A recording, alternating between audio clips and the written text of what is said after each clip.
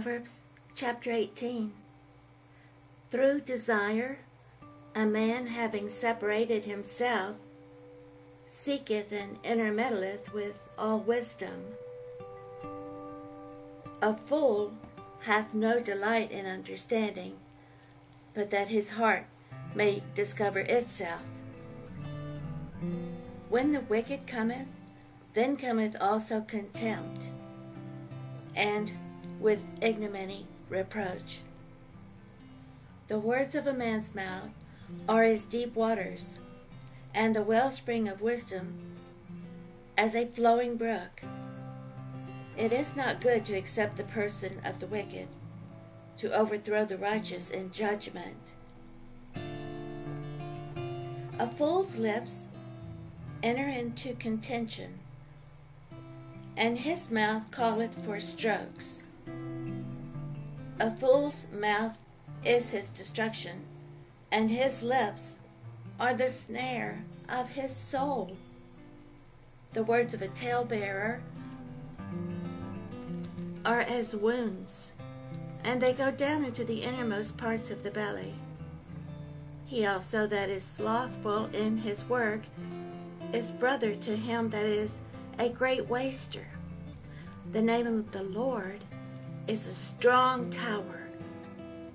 The righteous runneth into it and is safe.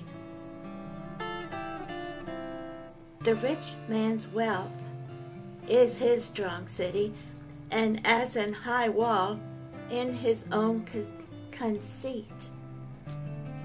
Before destruction, the heart of man is haughty, and before honor is humility.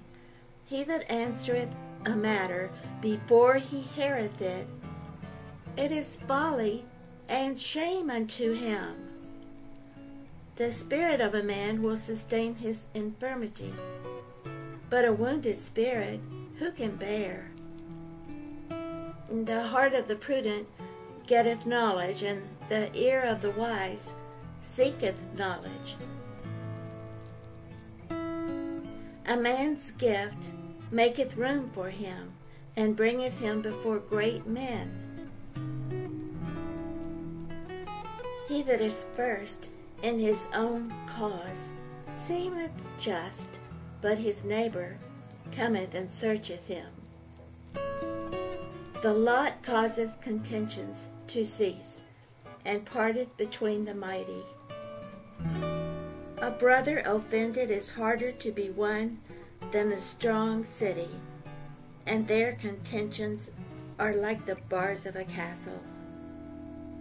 A man's belly shall be satisfied with the fruit of his mouth, and with the increase of his lips shall he be filled.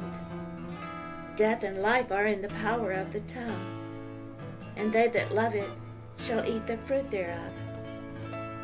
Whoso findeth a wife findeth a good thing, and obtaineth favor of the Lord.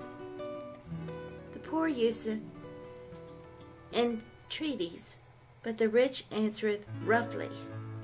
A man that hath friends must show himself friendly, and there is a friend that sticketh closer than a brother.